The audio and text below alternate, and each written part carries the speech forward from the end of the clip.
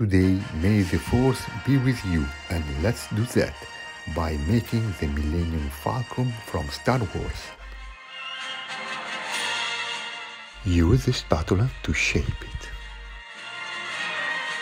Add very wet sand for missing parts. Smooth the parts with a spatula and mini spatula.